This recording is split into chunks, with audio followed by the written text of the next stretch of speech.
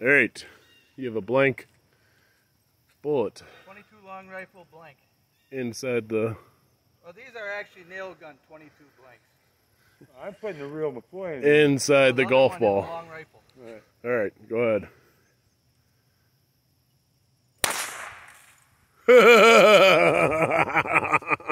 That's what